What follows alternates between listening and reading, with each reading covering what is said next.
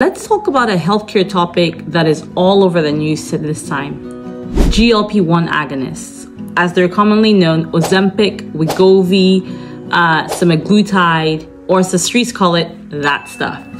Well, these medications have been game changers for our patients who are thinking about a pregnancy or thinking about losing weight before a pregnancy. They've been game changers for patients with type 2 diabetes in trying to improve their blood sugar control. But what about their use in pregnancy?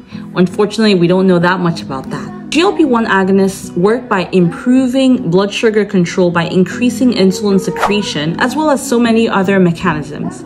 Now, like I said, their use in pregnancy has not been studied, but current guidelines recommend stopping these medications about 2 months before pregnancy. If you're thinking about getting pregnant, you can get your type 2 diabetes or get your diabetes under good control, lose the maximum amount of weight that you want to lose, and then stop the medication at least two months before in an attempt to then try for a pregnancy. So if you're on a GLP-1 agonist, let's chat.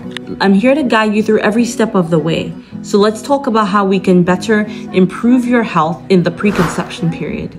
This is Dr. Oben. Like and share for more content like this.